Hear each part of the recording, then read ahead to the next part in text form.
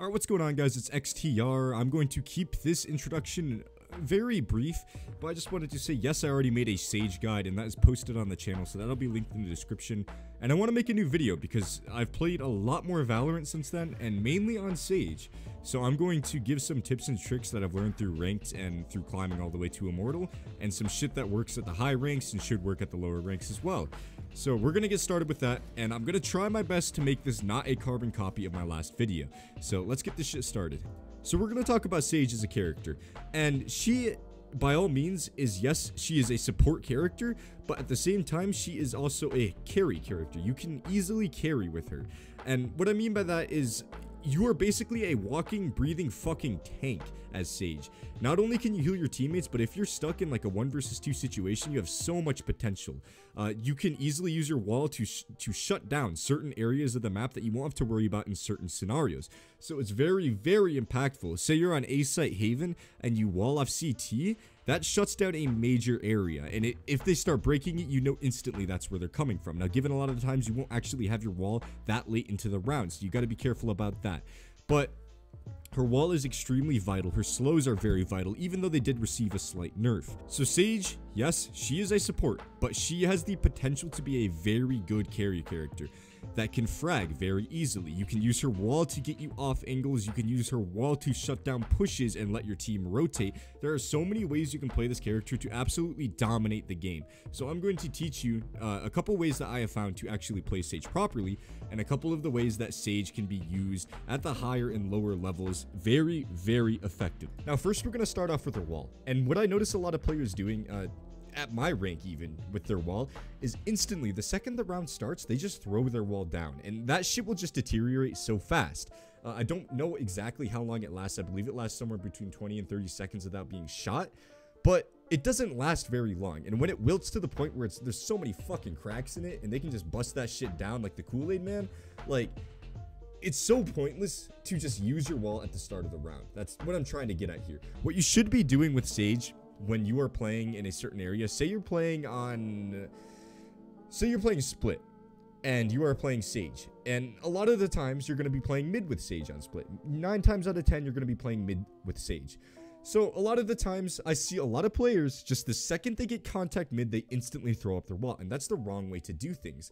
The best way I've noticed to actually do things is slowly expend your utility over time. If they're putting pressure towards mid, throw down some slows, throw down one slow that might get them to back off for a bit. They might release some pressure, you can maybe shoulder it out, take a couple peeks, get some info. If you know there's a lot there, you can slow it again, and if you know that they're trying to push through, that's when you use your wall. You don't want to use your wall in a situation that is completely and utterly pointless. You want to hold that wall. That wall is so impactful for every situation. It's so good for retakes. It's so good for just knocking out a certain angle that you won't have to look at. It's good for cover. It's such a good wall, and you don't want to use it selfishly. Like, I understand that a lot of the times players want to get a cheeky off angle with the wall, and yes, it can be useful for that, but there are always so many better, better fucking uses for that wall. On attacking, you can argue that it is a good use for the wall, and yes, it can be. Getting off angles with Sage Wall can be very good, but a lot of the times you want to actually think like, what more can I do in this round with this wall? Because there are always so many opportunities you can use it for. Another thing you need to take note of with the wall is you don't want to be walling your teammates off at certain chokes. If you are pushing up mid on split, and say you don't exactly know where your team is actually planning on going, don't throw your wall down and basically force your team to go through a certain choke. Don't wall off ropes if you guys haven't decided on where you want to go. That forces you to have to take heaven or fall back. That cuts down on your options. If you guys decide, it might be smart to wall something off or just wall off your flank in general. Uh, a rule of thumb would be instead of walling off, say, ropes, what you can do is you can wait until you get up into actual heaven and you can just wall off the entire flank. That way you don't have to worry about people coming through, say, sewers in mid or from your spawn in general. You can wall off your entire flank instead of using it on one angle. Maximize the usage of the wall. Maximize the angles you are cutting off. And don't use them without knowing exactly where you guys want to go. That puts you in a very bad position. All right, so we're here in game, and I'm going to show uh, example of what a proper mid hold would look like with Sage. So say I'm playing here, and I know that there are people coming up. All I have to do is slow this, and my teammate here can kind of shoulder it out.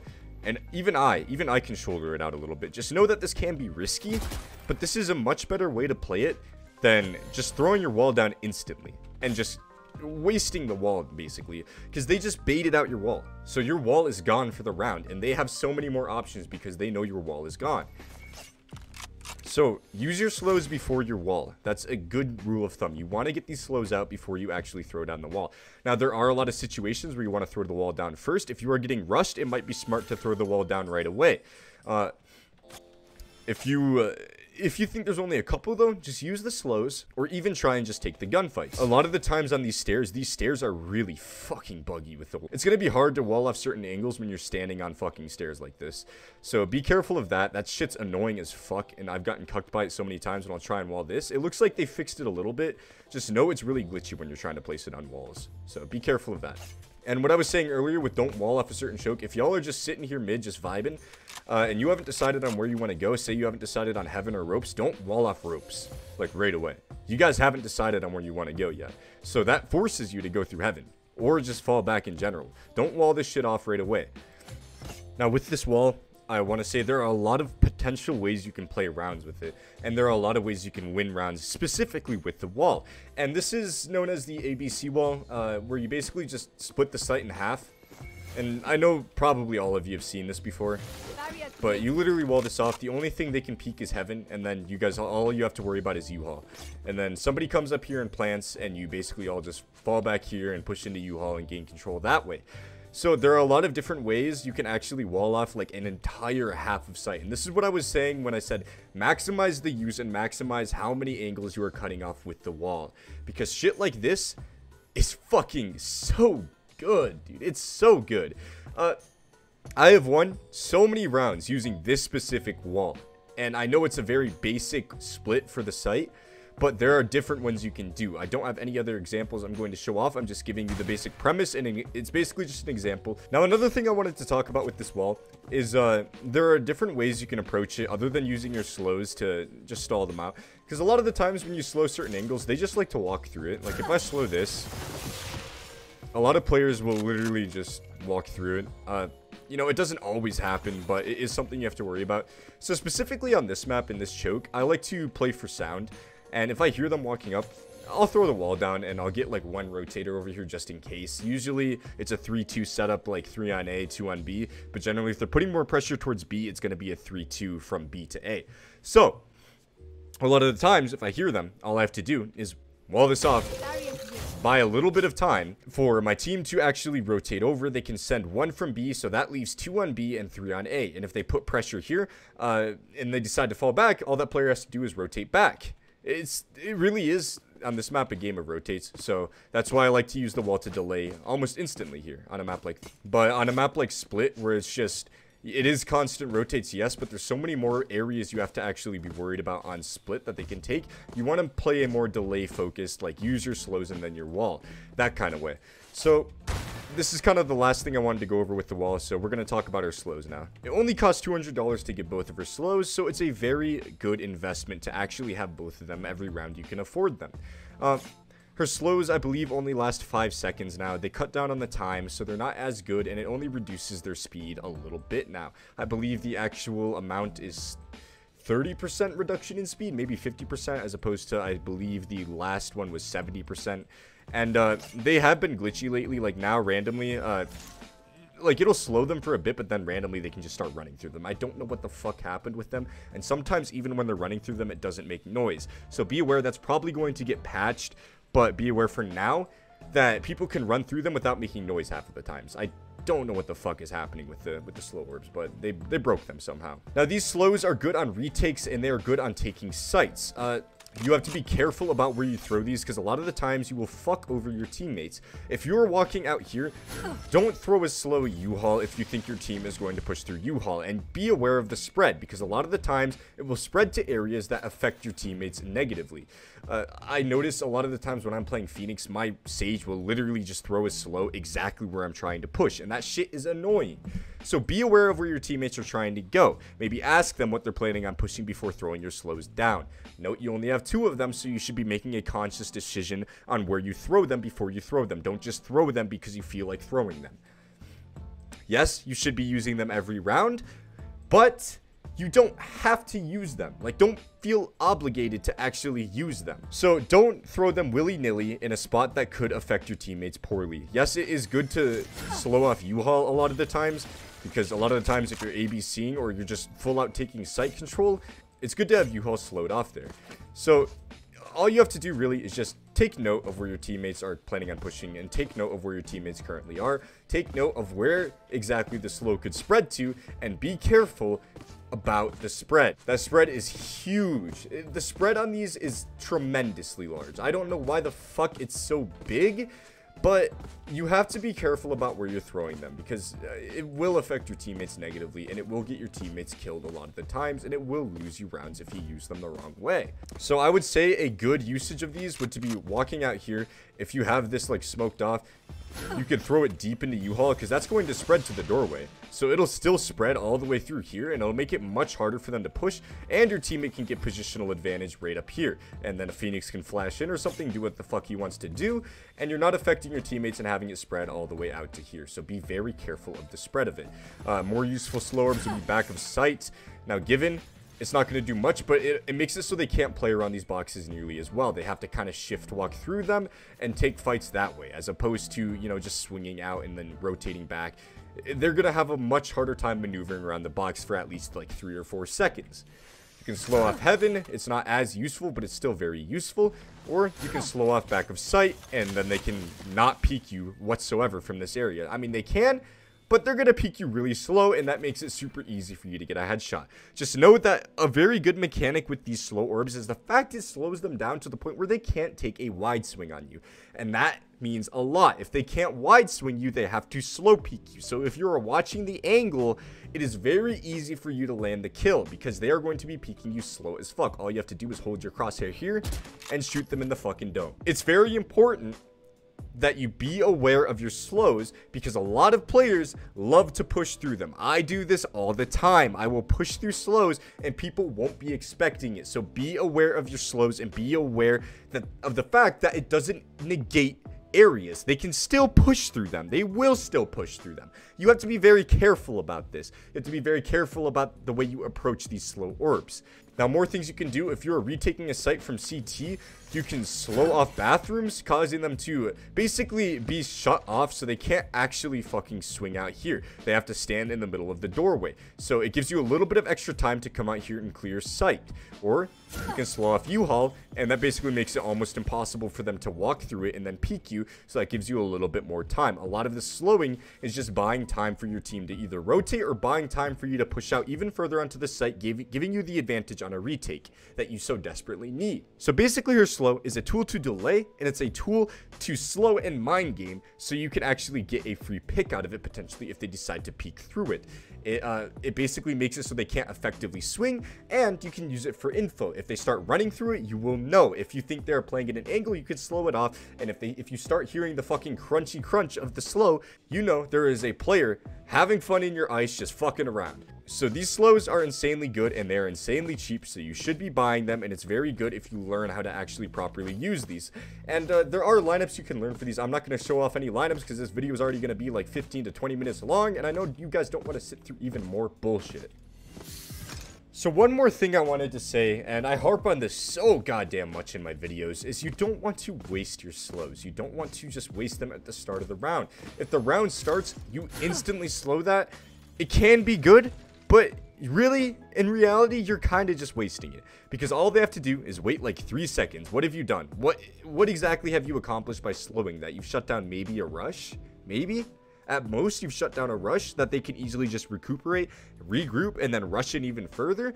The only way I see throwing them at the very start would be so a Brimstone can ult them if you know they're there, or you can throw the slow and then recon in with Sova just so they can't actually leave and hide from the Sova dart. Those are really the only main uses for it, and if you are going to use it like that, you want to throw it even deeper so they get caught even further back and your Sova can get a lineup into deep spawn and try and spot them out. But a lot of the times you want to hold on to your slows here. You don't want to throw them at the start of the round because if there's nobody there, it's fucking pointless. You wasted a slow for no reason.